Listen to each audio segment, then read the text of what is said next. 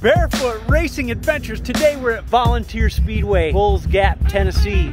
Dirt Late Model Series, $5,000 to win. We've got guys like Chris Smoky Madden. We're here to watch Kyle Strickler and Scott Bloomquist. We've got cameras on those two guys. Ride with me, folks. Good morning, Kyle Strickler, brother. How you doing today? Good, good. It's a little early. Got our coffee. We're here and ready to go. Excellent. The new rocket actually at PCC Motorsports, so this is our second night out on it. Really excited to come to Bulls Gap here. The style and shape of this racetrack really fits what I like doing in a race car. Man, it's got a lot of banking. Looks fast. Yeah, absolutely. With the rain and weather being so cold, it's gonna be pretty hammered down, especially early. So last time I, I saw you was uh, over at Cherokee. We ended up third there, kind of played the tire game. Car was not very good in the beginning of the night. Myself and the guys did a really good job of working on it all night long and, and being there at the end and playing the strategy. Tire game is, is so important. Got a flat tire at the right time, came in and that kind of put us ahead of a lot of other guys. Ended up with a third there, so. Great start with a new car. Yes, first time in a Rockets and first time out with PCC Motorsports. Was really happy with that. Tweaking and tuning on her and talking with Mark Richards and the guys at Rocket and see what we need to do to get this car to fit the feel that I'm looking for is a lot different than the Longhorn than what I was used to, so. You ran a NASCAR truck at Eldora last year. Yep. I just wondered what kind of experience that was.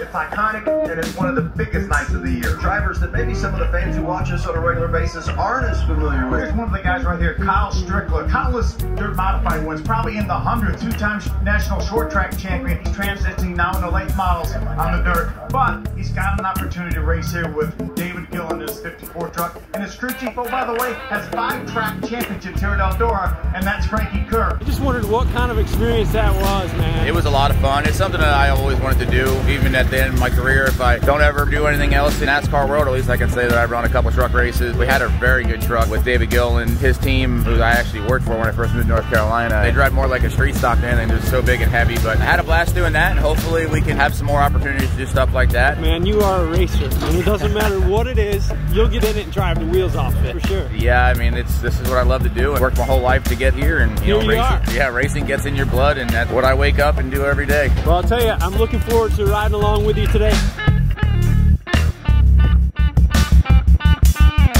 Test one two. Test one two. Check one two. Test one two.